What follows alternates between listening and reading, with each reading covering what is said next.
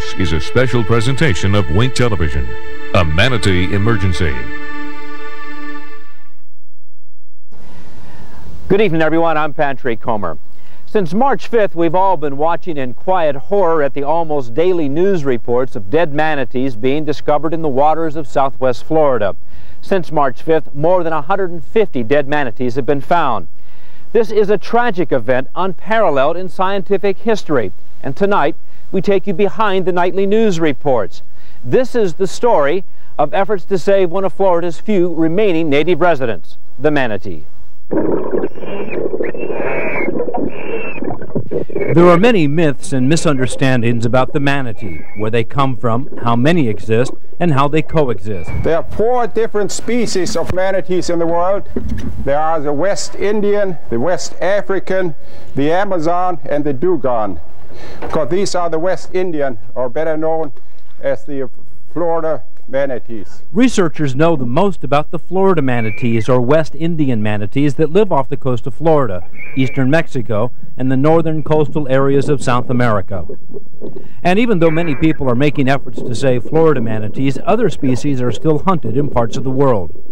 For example, the Amazonian manatees live in the canals and rivers of Brazil where they are hunted for food. The West African manatee is native to the west coast of Africa. It looks similar to the manatee we are most familiar with, but researchers don't know very much about them either. And the same goes for the dugong, another type of manatee that exists in the Indo-Pacific region north of Australia. And imagine this 13-foot manatee doubled in size, and that is the size of Steller sea cow, a species that was hunted to extinction within 27 years of their discovery in 1741. Steller sea cows could weigh up to three and a half tons. They lived in the Arctic waters of the Bering Straits. If you look at their mouth, it looks like the short version of an elephant trunk. Despite the popular myth that manatees are related to cows, hence the name sea cows, it's not true. Marine mammal experts say elephants are their closest land relatives. Their skin is like an elephant skin. They have they have very small eyes like elephants. They close more like a shutter of a, of a camera lens. But unlike elephants, manatees rarely travel long distances in herds.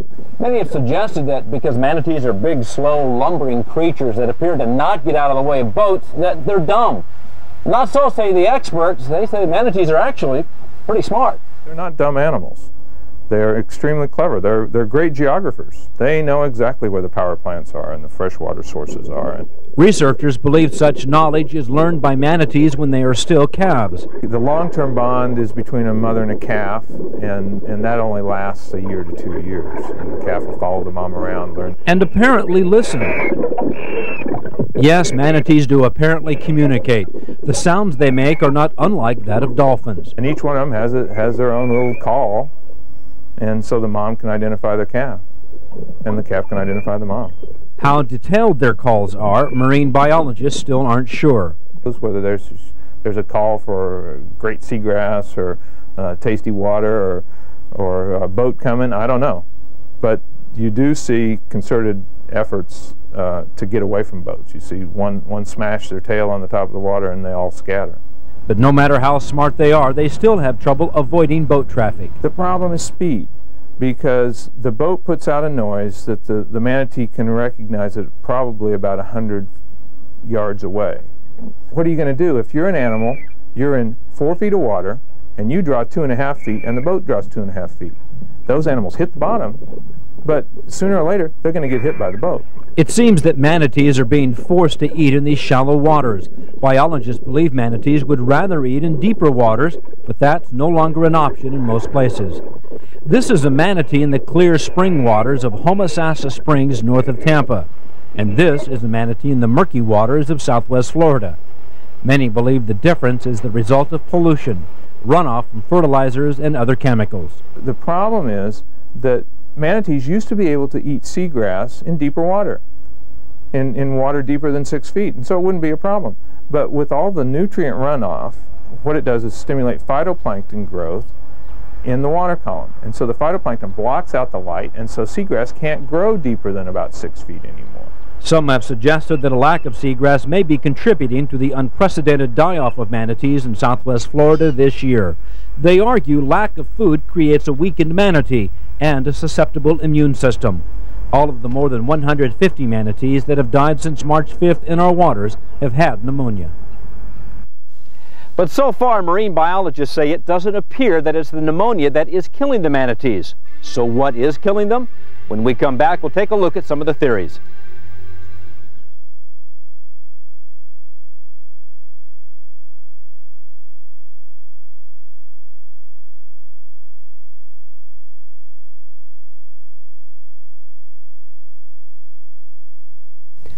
Marine mammal experts have been deluged with ideas from the public on what's killing the manatees.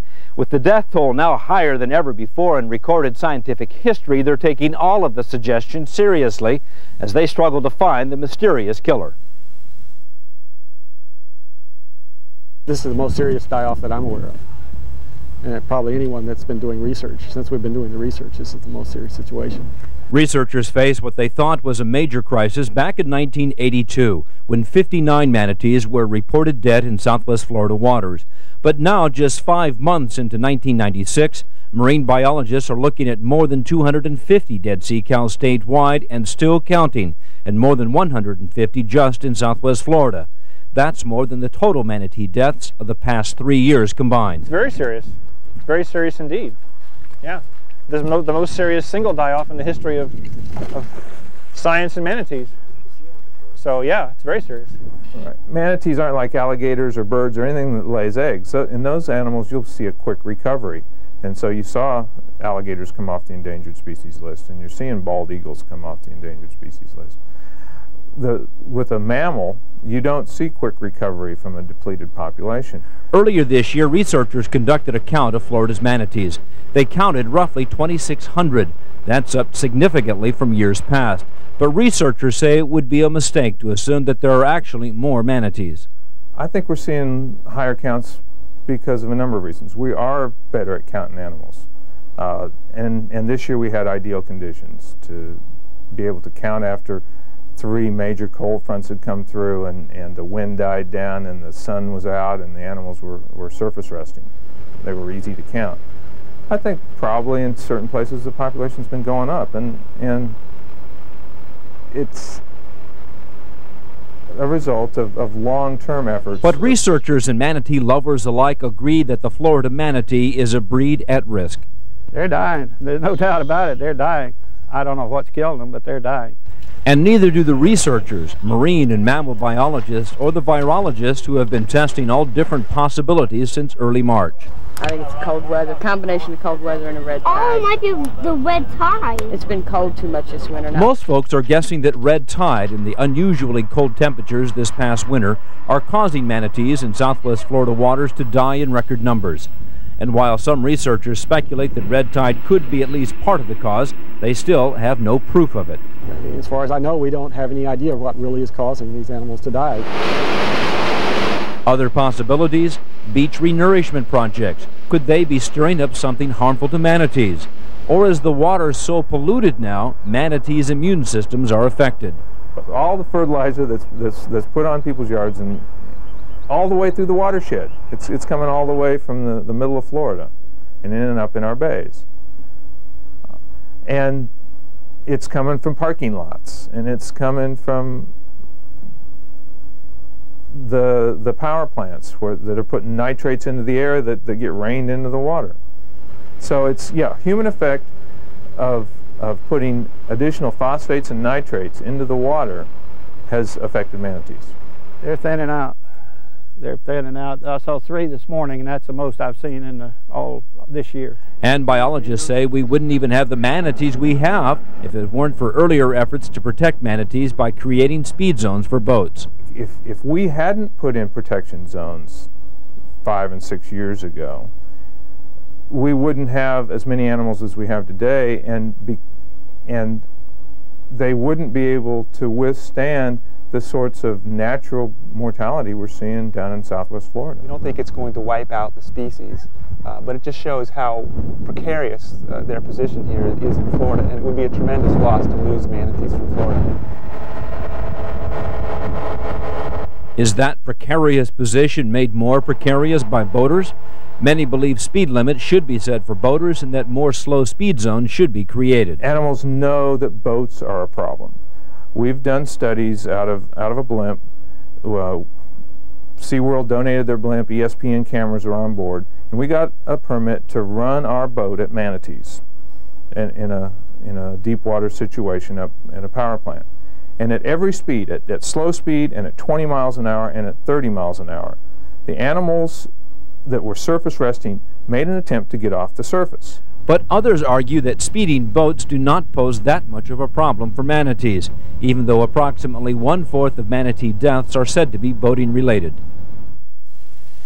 Besides dying manatees, we've also seen large numbers of birds, catfish, stingrays, and dolphins dying. And although marine biologists say the deaths don't appear to be related to one another, it's enough to make you wonder, are we somehow messing up our environment? It also leaves the marine biologists perplexed over what's killing the manatees. When we come back, we'll take you behind the scenes and show you just some of what's being done to save manatees.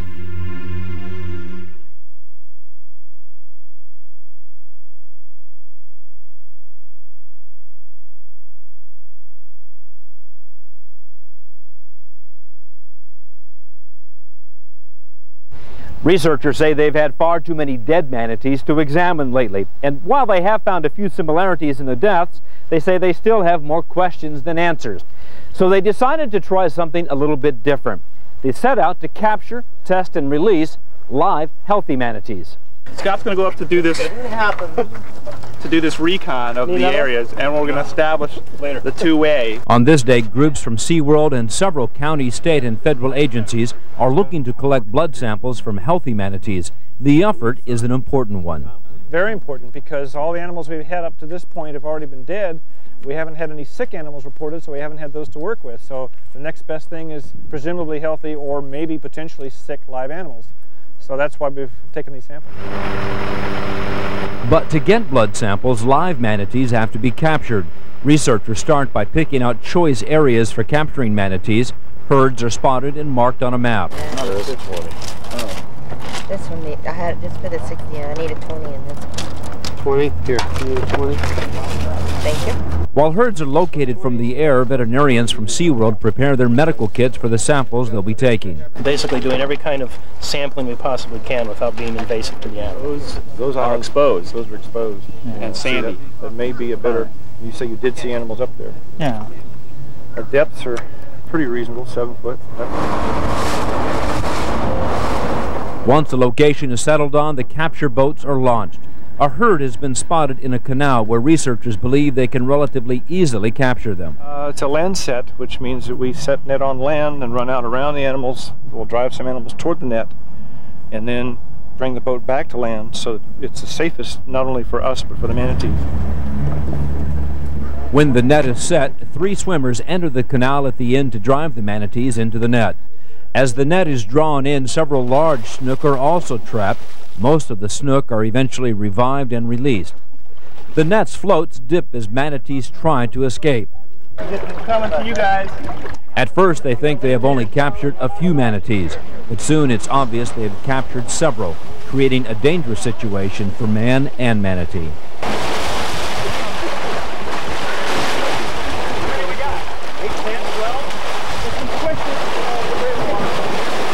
Now they have to make sure none of the manatees drown before they can be tested and released.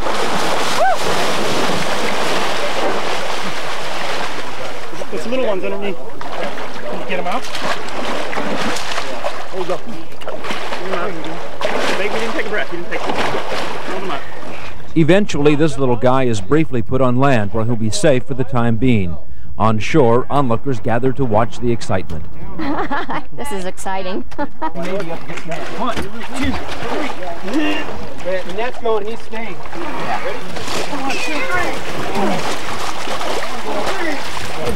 One by one, the thousand pound plus manatees are hauled up onto the capture boats for testing. Grab a needle out of that box. By the end of the day, seven manatees are captured, six are tested, and all are released unharmed, but probably wiser. The researchers say the manatees probably learn how to go under or over a net the next time, but they say the day was a success.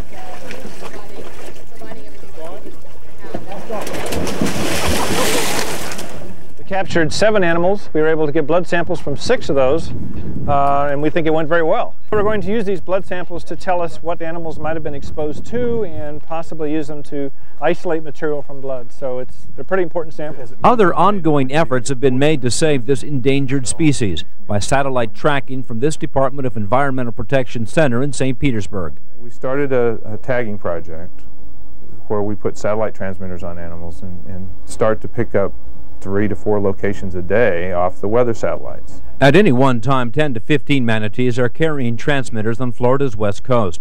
The radio transmitter in the tag gives biologists a sense of where the animals travel and spend their time.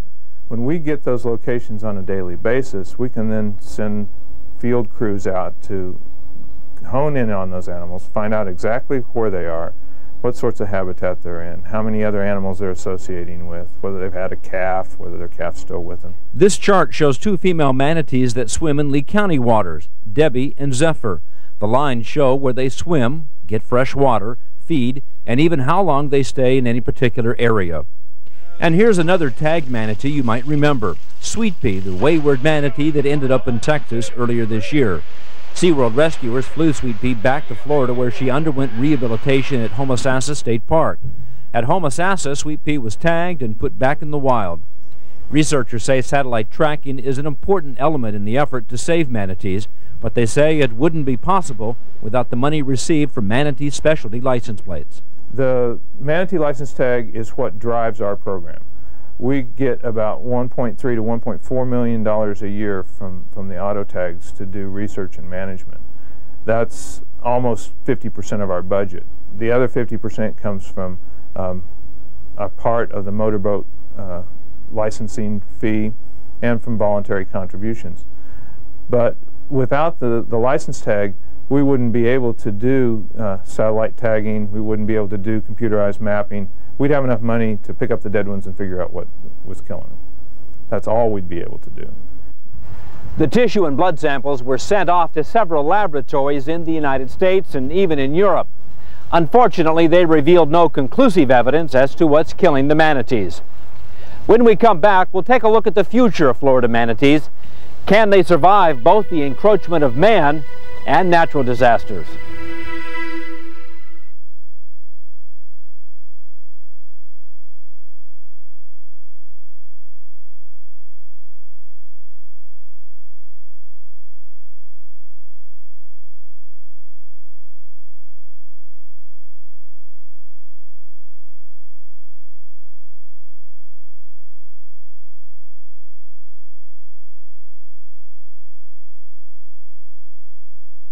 As Florida's people population increases, Florida's manatee population will likely find it increasingly difficult surviving. It is also getting more and more difficult for marine biologists who are trying to save the manatees. The rescue of, of manatees can be problematic in that you may end up with an animal that, that you have to support for the rest of its life in captivity. Uh, and is there enough money to do that? It can cost thousands of dollars a year to feed and care for a manatee, and right now, there are only so many places that will accept the responsibility to care for a manatee for life. So in the future, researchers may have to get more selective about which manatees are saved. If there's 2,500 of them or, or 3,000 of them, do you spend your money that way or do you spend it on studying healthy wild animals, re rehabilitating animals that, that are, are recoverable? You, you've got to apportion your money to get the most return for the, for the population of wild animals. Sadly, baby manatees may not be the best choice to save. If they haven't been with their mother to learn where to feed and where to find fresh water and warm water, it's unlikely they'll be able to survive back in the wild. But Weigel says there are good candidates to save. Prime examples are, are animals that have been caught up in, in crab traps that have a rope wrapped around their flipper. Almost all those animals can be rehabilitated and released back out into the wild. But the odds appear to be increasingly stacked against the wild manatee population. Not all of these animals can make the transition from a captive lifestyle to the wild.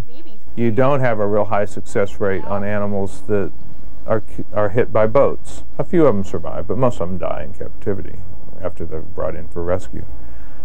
The, the real problem is in orphans animals that have been abandoned by their moms for some reason, that are brought into captivity. Over the years, rescue facilities have gotten really good at saving those animals. And so now they're up to their gills in, in orphan calves, and they have to either be released into the wild or maintained for the rest of their lives.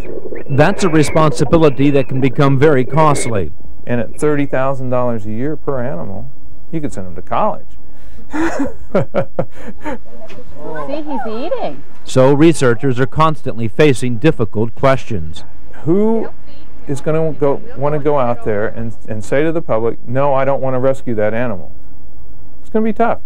I mean, who's going to go out and euthanize uh, a, a ba little baby manatee that has no chance of surviving in the wild long term. So far, that is a decision that has not had to be made. But there are other issues to consider in the equation of what it will take to save manatees. Much of it boils down to education. Well, I think manatees will survive if humans are consistent. If, if we say manatees are an important resource that we want to survive in Florida, and say, okay, within a band along the shoreline to yet be determined, if we operate our boats in a safe and consistent manner, manatees can learn to adapt to that. They've already survived through the reckless years. And so if, if we're just consistent in our operation of motorboats and in our discharge of, of nutrients into the water column and, and work to improve ourselves, they'll respond to it. If we hadn't put in protection zones five and six years ago, we wouldn't have as many animals as we have today, and be, and they wouldn't be able to withstand the sorts of natural mortality we're seeing down in Southwest Florida. You can cut down on human-related mortality. You can't cut down on natural mortalities. And so what you have to do is is give not only manatees, but, but fish species and, and, and dolphins, a chance in the area that, that they have to use to make a living. One of the best places in the state to really get a good view of manatees is at Homosassa Springs. These clear natural spring waters are about an hour and a half north of Tampa. Now you won't be able to get in the water like we were permitted to do here to be able to shoot some underwater video, but you can get a good view of the manatees from above ground at observation decks and through windows underwater. Grandpa! There you will be able to clearly see and learn about manatees. But imagine being able to do this. Actually come nose to nose with a manatee. It's a rare and unforgettable experience I enjoyed.